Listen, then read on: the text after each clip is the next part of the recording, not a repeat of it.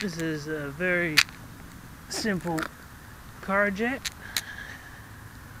2200 milliamp 3S a 35 amp Hobby King ESC clone AR6110E Spektrum receiver Chinese copied.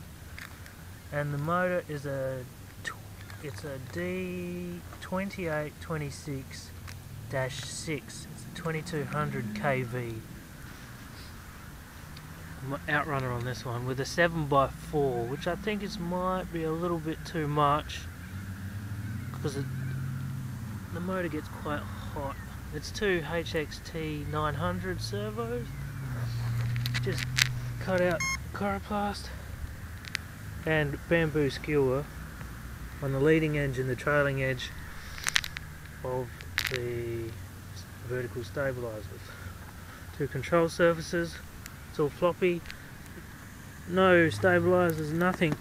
No strength or anything just packing tape and hot melt glue the whole thing. Cost five bucks to make